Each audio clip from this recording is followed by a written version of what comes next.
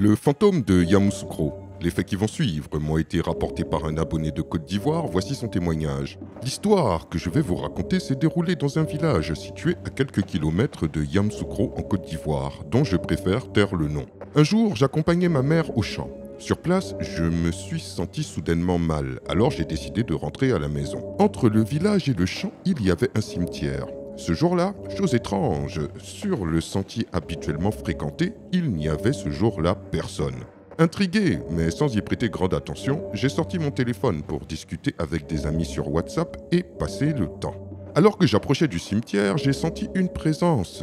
Je lève les yeux de mon téléphone et j'aperçois une petite fille d'environ 12 ou 13 ans, vêtue d'un pagne rouge noué autour de ses hanches. Elle se tenait là, immobile, et me fixait avec un sourire étrange. Pris de panique, j'ai commencé à prier intérieurement. Ce qui était troublant, c'est que chacun de mes mouvements semblait calqué sur les siens. Lorsque je faisais un pas, elle faisait un pas aussi. Quand je m'arrêtais, elle s'arrêtait également. Finalement, prenant mon courage à deux mains, j'ai décidé de courir droit vers elle. Mais au dernier moment, je l'ai contournée en passant à travers les herbes et je suis ressorti plus loin sur le sentier. J'ai couru sans m'arrêter sur plus de 100 mètres. Quand j'ai enfin osé jeter un œil derrière moi, elle avait disparu. Arrivé à la maison, j'ai raconté l'incident à mon père. Il m'a dit qu'il s'agissait peut-être euh, du fantôme d'une jeune fille assassinée qui voulait me transmettre un message pour sa famille. J'ai eu la peur de ma vie. Voilà mon histoire.